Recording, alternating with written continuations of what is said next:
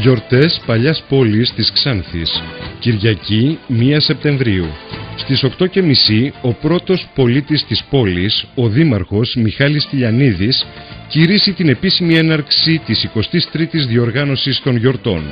Και όπως χαρακτηριστικά σημειώνει, μας καλεί να ξεκινήσουμε ένα ακόμη ταξίδι πολιτισμού στο Υπαίθριο Μουσείο, στην πανέμορφη παλιά πόλη της Ξάνθης.